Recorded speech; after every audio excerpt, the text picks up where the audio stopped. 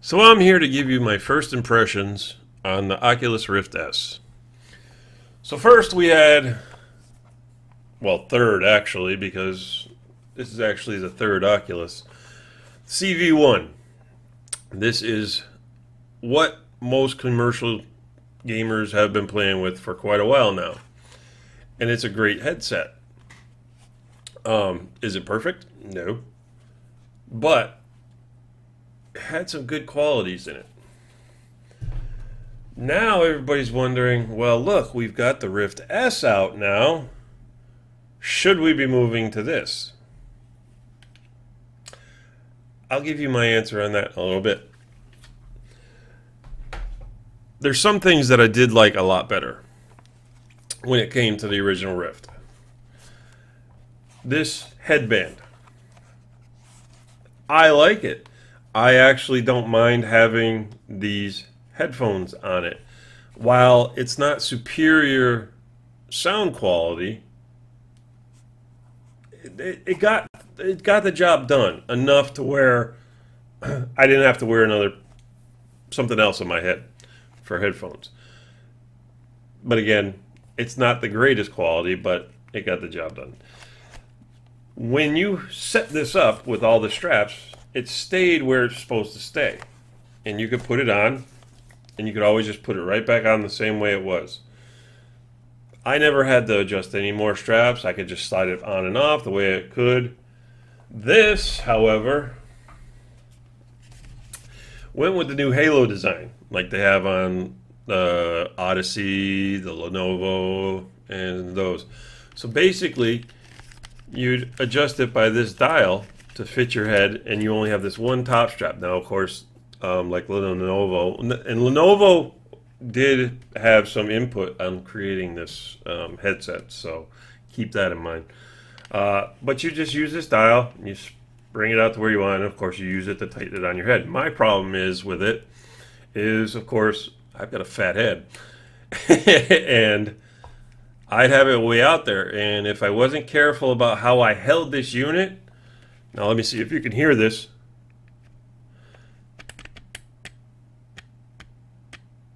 I don't know if you can hear that or not, but it's actually closing. So it doesn't stay where it's adjusted to. So I found myself, I went to put this back on my head and it was too small. I'm like, uh, what the hell? So yeah, that this little gear mechanism for adjusting your head your head strap is not very good. Is it a deal breaker? No, not really. But it's just an annoyance. The other thing I hated in here too, well, it's not that I hated, but I don't really like as much, is see those holes right there? Those are your speakers. Those are your headphones. That's where the sounds come out of. Can you hear them? Yes. Are they as good as you had with the headphones on these? No. Um, you have to turn it up a little bit louder to hear everything the way you should be hearing it. Um, and with the width of this headset, of this headband, you've got a very limited space. So if you use a low profile headset, so say like I, I'm a big fan of the Game Pros from uh, Sennheiser. Okay, that's a low profile headset.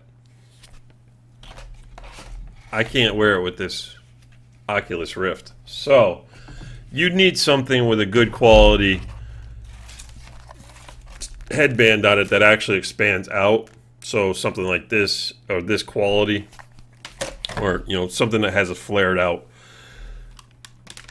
headband on it so it can go around this halo comfortably and not feel like added pressure on your face.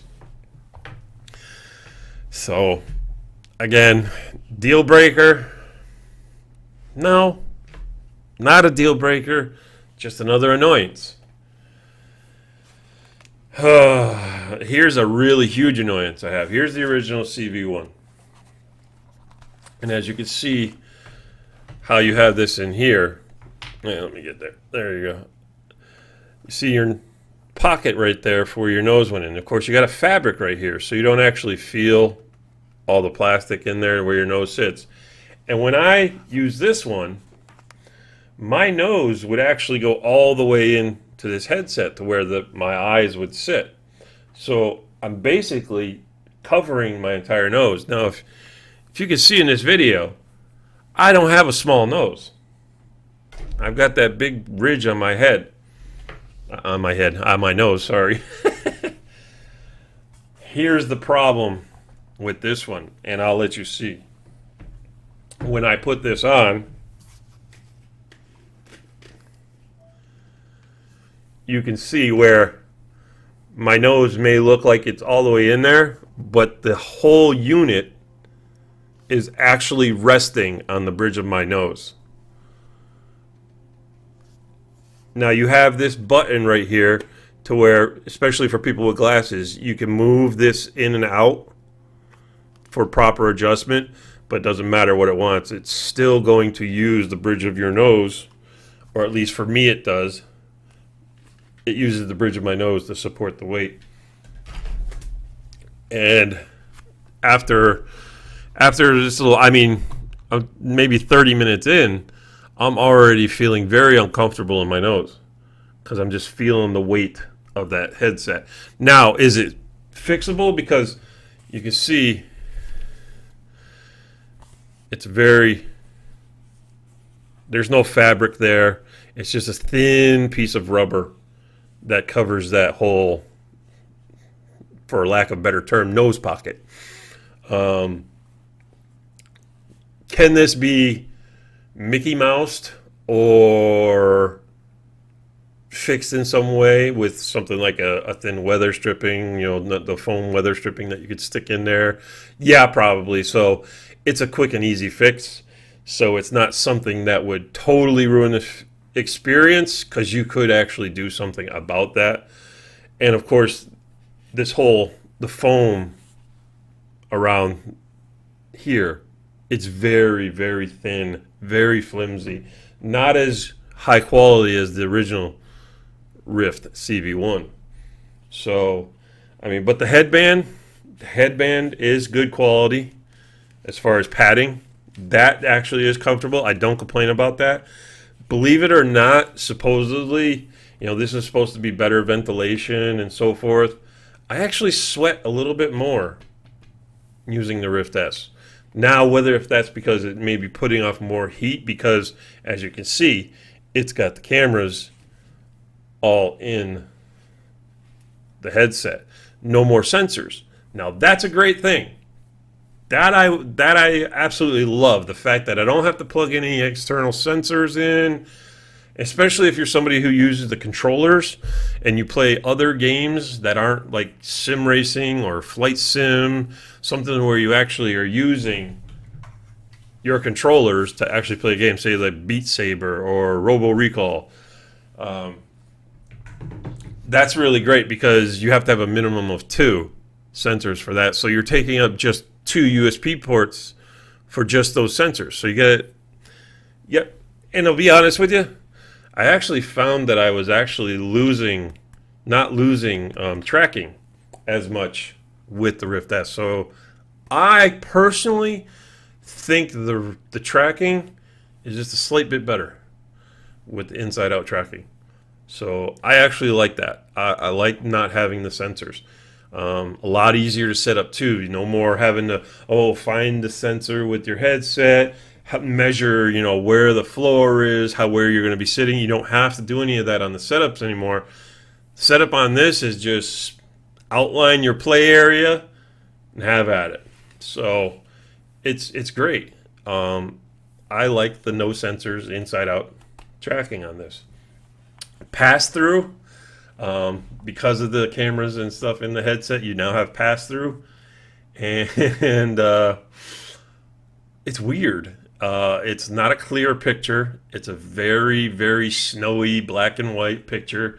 You can make out what's there. You can see, but if you're if you're expecting to be able to just look through the cameras and see your keyboard and just start or whatever you got to do, don't expect that. You really actually got to look down and you got to know, you know, what's what. So um, you don't actually get any clarity on the pass through. Uh, as I said, the controllers controllers are a little bit of a new redesign. They are uh, very comfortable. Each only take one AA battery. Uh, I haven't taken out the straps yet because I didn't play a lot. But what I did play, I was enjoying. And me having this headset, this is the the the original uh, CV1 that came out without controllers. So all I had was the one sensor and the Xbox controller. I didn't have any touch controllers. So this is this was my first experience with touch controllers, and I I loved it. It was it was great being able to reach in and grab things. Um, it was nice playing darts, air, shooting arrows.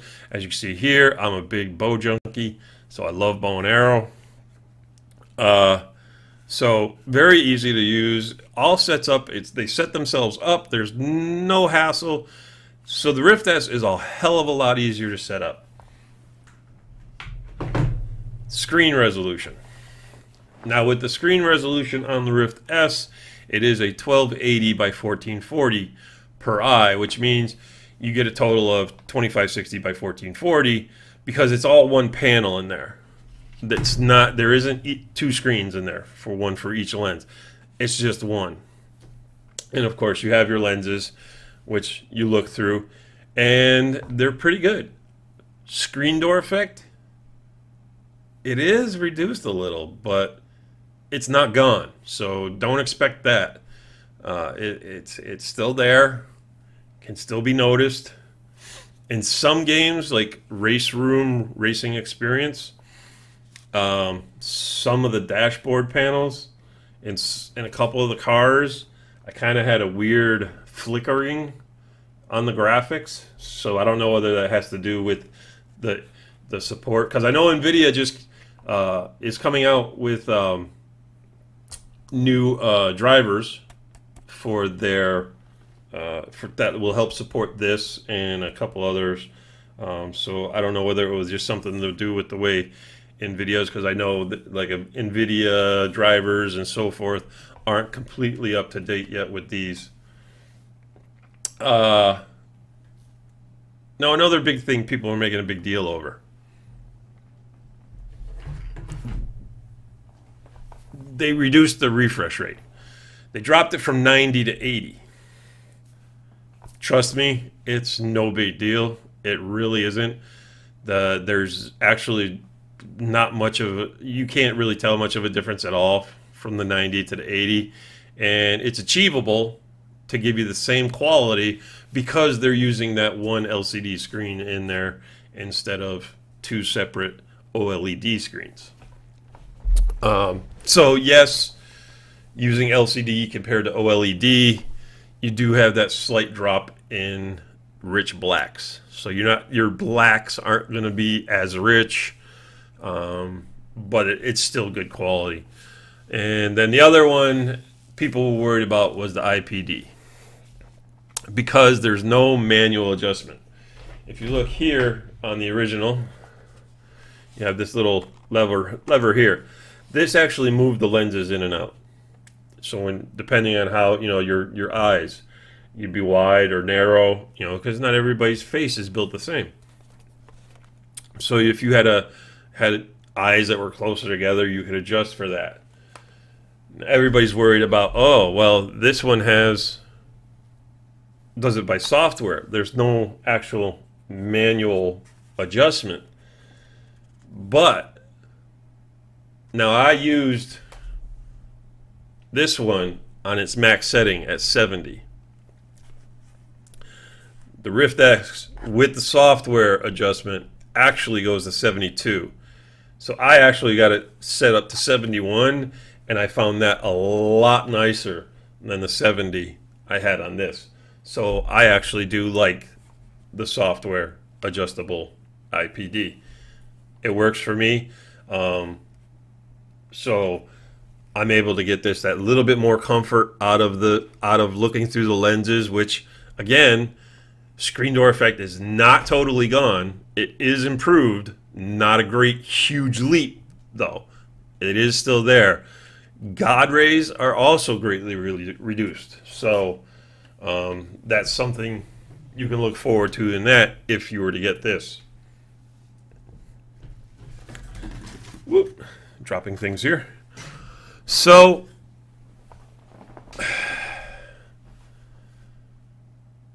what what do you what is it that people want out of VR? Do because now you have the Quest. This is the question people are asking. Do we want more of these tethered units or is it beneficial for them to go with the standalone units like the Quest? Hopefully this doesn't get too bad of a rap because I know there's some people that aren't liking it and also giving it bad reviews. Luckily, we still have some um, better choices on the horizon, uh, whether it be the HP Reverb, uh, the Valve Index.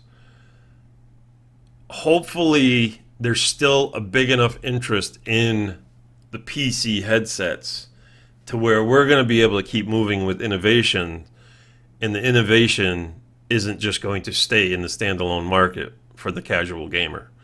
And unfortunately, the casual gamer has such a huge grip on the gaming industry that it's something that everybody should be worried about. So, if all you want to do is play casual games, Beat Saber, Robo Recall, whatever any of those games that were basically all you're doing is standing there and chopping then yeah i guess the, the quest is the way you want to go even though um remember ho- top tier games not even beat saber runs perfect on the quest. Um if you want that high quality gaming when it comes to vr you still need to go pc and again if if the the sales and the the the, the I don't know the the units moved when it comes to these PC headsets if they don't make a profit for the company it could easily easily slip away to the standalone market and all of our improvements and innovations could go that way. And I'd hate to see that because being a sim racer and also dabbling in some flight sims, I need to have the PC headset. I need the power. Other nice thing about um, this, and the reason why they were also able to get down to the uh, 80 hertz when it came to the uh, refresh rate, is the old headset. You would plug in one in a USB port and then the other in an HDMI port.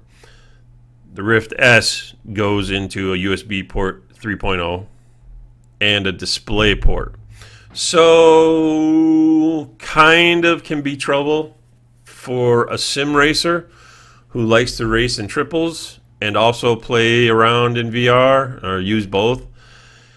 Not many graphics cards come with more than three display ports I don't actually don't know of any that come with more than three.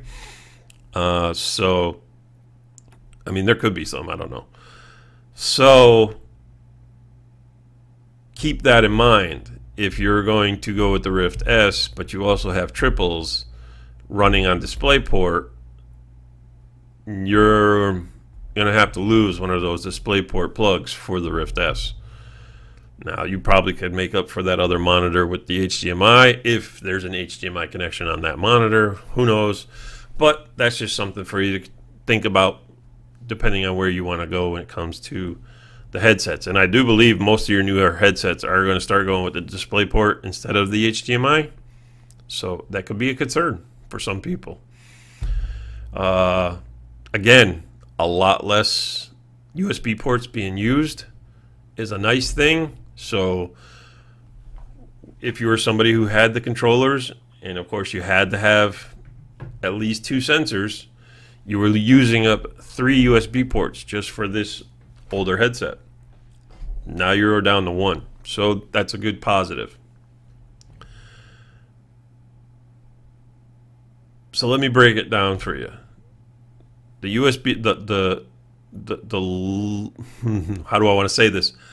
Um, the use of less USB ports being taken up is a positive. Uh, the slight screen improvements to slightly reduce that screen door effect is an improvement. Is a positive. Um, I ha- for me personally, I have to say the software IPD is a positive for me because I was able to go to a larger IPD than on the older unit. So it does go up to 72 as to where the old one just went to 70. They are fixed lens, but they again because of the single screen, they're able to do the software and it works quite well. So for me, a positive. Others may not. Uh, the controllers very comfortable, easy to use, lightweight, register well, positive. Ease of setup huge positive. A lot easier to set up than the old one. A lot quicker. And on top of that, you don't even really have to replace the software because it uses the same software, the same app. So basically, all you're doing is reinstalling a new um, a new device into the app. And day one, I did have a, uh, have an update. So there there was a sizable update um, to download into the app for the Rift S. So beware of that too. Uh, so that's positive. Ease of setup, ease of installation. Not so positive.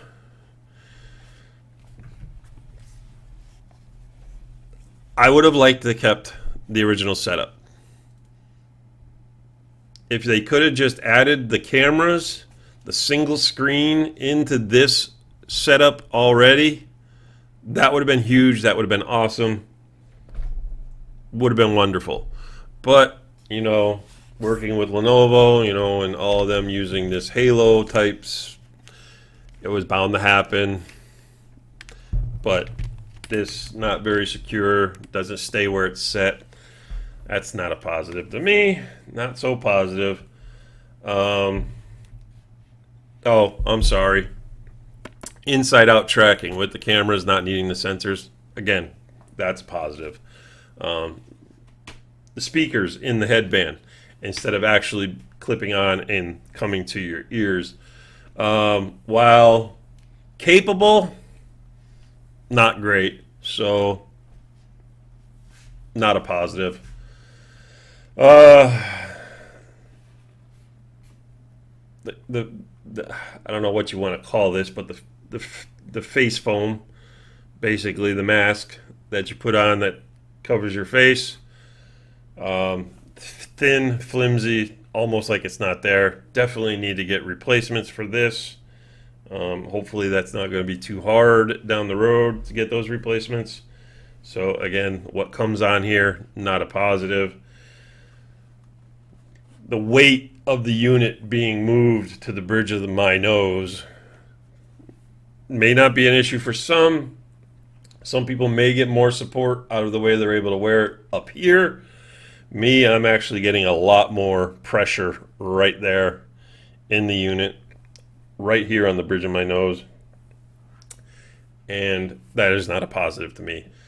It, uh, it makes it uncomfortable after, I mean, even like I said, 30 minutes makes it very uncomfortable. So we've got some great positives. We've got some, got a few negatives. You know, not so positive. So, do you upgrade from the original CV1 to the new Rift S? I don't recommend it. If you're completely happy with your CV1, and you have the controllers and you don't need controllers and if you do need controllers again $100 on Amazon. Uh, I'd stick with it. They say they say this one has a slightly larger field of view just ever so slightly. It's not slightly enough to even notice it. Still looks like the same field of view. So again is the screen door effect reduced enough to make this a horrible image? No. Is things like texts in written words a little bit clearer in the Rift S? Yes. Um, but if you're somebody who already enjoys games like Elite Dangerous uh, and so forth, games like that, that where you can see and, and you're already having no issue, I don't, I don't see you needing to upgrade to that. And I tell you, I wouldn't because I I much prefer this headband. uh, so is the, the that improved resolution or the, the, the reduced screen door effect is not reduced large enough for me to justify spending another $400 on a new unit and if you have it just to blow just like okay boom you pay it. But if you're somebody who needs to also offload your old one it just it for me it just seems like too much hassle to go through just for that ever so slight improvement. Uh now again, it's for people coming in new to um, the PC VR and other types of VR. This is going to be your only option. This is replacing. Now, this is not the Rift 2. The Rift 2, they say, is in development. Uh, it's going into development or it's very early in the development. But this is just like they do with iPhones. Okay, you've got your iPhone 8, then you have your iPhone S that's pretty much what this one's doing. You know that this is the this is the S version. This is the ever so slightly improved version. So they say. I mean, there's improvements on here that I wouldn't have improved on, but um, it's. I'm still contemplating whether I'm going to keep it. To be honest with you. Um, oh, as I was saying, uh, this is your only option because the original CV1 is discontinued. So this will be the only PC Oculus available. Um, whether it's currently only the only one available in some stores or online retailers still have the original Rift for sale, I don't know. Whether they've been uh, once those released, they called back the CV ones. I don't know, but it, it will eventually, if not already, be your only option when it comes to Oculus. Uh, I don't know much how much more I can tell you, other than the fact that I still got to have a little bit more time with it. Like I said, I'm still contemplating whether I'm going to keep it. I probably might. Um, I'm just going to find some way to work work with this this pressure this weight on the bridge of my nose see if I can put something in there to help with the padding. Um, definitely going to keep my eye out for new um, face mask covering because this definitely needs to be improved. Uh, other than that it's a good headset. Um, if the original Rift wasn't out I'd say you know it's a great great headset um, but if you're, like I said, if you're already still, if you're somebody who still has this one and you're happy with it, don't do the, the Rift S yet. Stick around if you really want to get into VR. You have some more expensive options, whether it comes to HP Reverb, the Valve Index, which are going to be insane money, as well as, you know, you got your Pimaxes out there. Uh, HTC Vive Pro. I don't recommend the regular Vive. Um, to me, the the screen door uh, effect in the original Vive is just horrendous. While it's has a little bit more clarity, the screen door is just horrendous to me in that one. Uh, so that's it. I don't know what else I could say.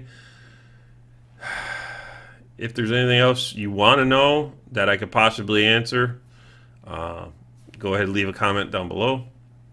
And uh, once I can uh, get to it and I see it, I'll uh, I'll respond to it. And if I have the, of course, the information. Um, if I don't, I'll see if I can find it. If not, I'll. I don't know. I'll just have to say sorry. I don't know. but uh, yeah. If you're with the, if you already have the Rift, stick with it. If you're coming new, then yeah, I'd say go ahead and just uh, try and figure out this. Uh, actually, you know what? If anybody else that does watch this and people want to see, uh, tell me what your experience is with this nose pocket. Are you getting that weight on the bridge of your nose also? Uh, does it feel like the unit is more front heavy than it used to be? Uh, let me know in the comments down below. Other than that, that's all I could say. That's my first my first impressions of the Oculus Rift S. Uh, hopefully, new drivers and so forth coming out uh, shortly for it. Help make a little bit more improvements. Um, it can only get better, so we'll see.